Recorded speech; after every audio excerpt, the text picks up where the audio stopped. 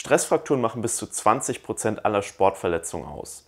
Um lange Ausfallzeiten zu vermeiden, kommen der Prävention und der frühen Erkennung ein hoher Stellenwert zu. Stressfrakturen treten meistens circa zwei Monate nach einer Belastungssteigerung auf. Besonders gefährdet sind dabei Läufer, Basketball-, Squash- und Tennisspieler, Tänzer und Sportler, die CrossFit betreiben. Dabei gibt es mehrere innere und äußere Risikofaktoren. Zu den äußeren gehören neben der Sportart und den eben schon genannten Belastungssteigerungen auch der Bodenbelag und eine schlechte Fitness. Hohe Trainingsumfänge stellen ebenfalls ein Risiko dar. Zu den inneren Faktoren gehört vor allem das Geschlecht. Frauen sind häufiger betroffen als Männer, insbesondere dann, wenn eine Female Athlete Triad vorliegt. Die Female Athlete Triad beschreibt die Kombination aus ausbleibender Regelblutung, einem zu geringen Körpergewicht und einer reduzierten Knochendichte.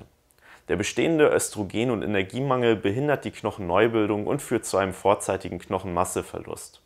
Zudem ist bei Mikrofrakturen die Knochenheilung beeinträchtigt. Das Gefährliche daran ist, dass der Verlust der Knochenmasse nicht umkehrbar ist.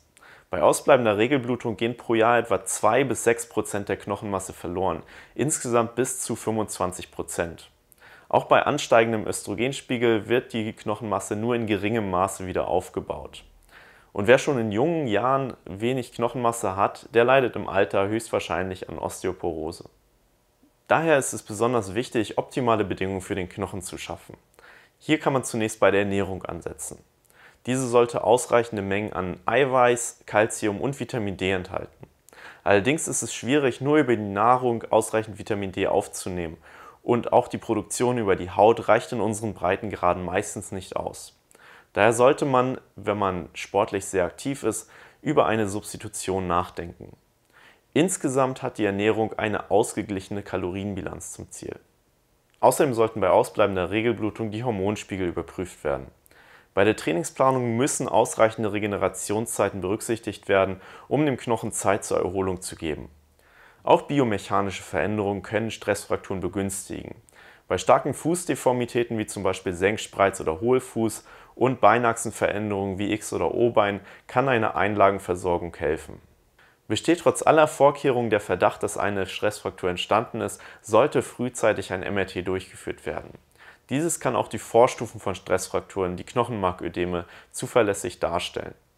Und je früher eine Stressfraktur erkannt und behandelt wird, desto eher sind auch wieder Alltagsaktivitäten und Sport möglich. Therapeutisch erfolgt zunächst eine schmerzadaptierte Entlastung des betroffenen Knochens. Im Folgenden müssen eine ausreichende Versorgung mit Kalzium und Vitamin D sowie eine adäquate Protein- und Kalorienzufuhr sichergestellt werden. Auch Bohr und Vitamin K sollten bei der Ernährung berücksichtigt werden, da auch diese eine Rolle im Knochenstoffwechsel spielen. Aufgrund der negativen Wirkung auf die Knochenheilung sollte bei der Schmerztherapie auf NSAR wie Ibuprofen verzichtet werden. Alternativen wie Paracetamol oder gegebenenfalls auch Novalgin sind hier die bessere Lösung. Nur wenn diese Therapieoptionen nicht greifen oder ein hohes Risiko für eine Pseudarthrose besteht, kommen weitere medikamentöse oder operative Optionen in Frage. Zu den möglichen Medikamenten wie zum Beispiel Bisphosphonaten sei aber gesagt, dass sie nicht für die Therapie der Stressfrakturen zugelassen sind und somit einen Off-Label-Use darstellen. Fassen wir zusammen. Um Stressfrakturen erfolgreich vorzubeugen, sollte die Trainingsbelastung nur langsam gesteigert und Warnsignale wie eine Female Athlete Triad beachtet werden. Weitere Maßnahmen, die auch therapeutisch von Bedeutung sind, umfassen die ausreichende Zufuhr von Kalzium, Vitamin D und Eiweißen sowie eine ausgeglichene Kalorienbilanz. Bei ausbleibendem Therapieerfolg sollte der Arzt über weitere Maßnahmen entscheiden